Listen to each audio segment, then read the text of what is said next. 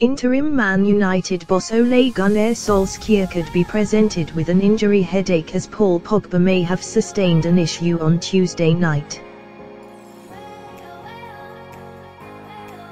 The Frenchman played a key role in United's comeback at Old Trafford, as they scored twice late on to secure a 2-2 draw against Burnley.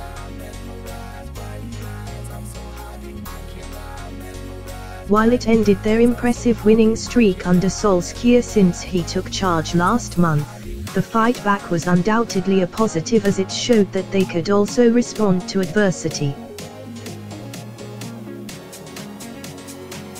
However, as noted in PAR reporter Simon Peach's tweet below, Pogba was seen limping through the mixed zone after the game, with fears that he might have sustained an injury during the game. That's the last thing that Solskjaer will want, as the 25-year-old has been hugely influential for his side since he replaced Jose Mourinho.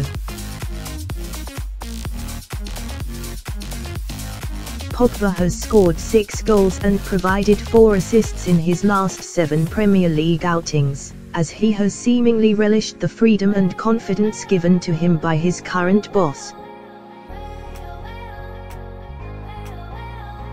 In turn, all concerned will not want to see that momentum broken by a possible injury setback.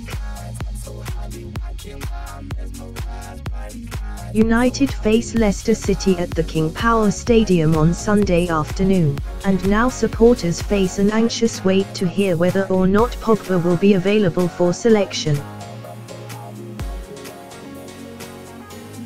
Meanwhile, Solskjaer had more positive news on Anthony Martial who missed the game with Burnley with an injury of his own, as he suggested that the French winger should recover in time for the trip to face the Foxes, as noted by the club's site.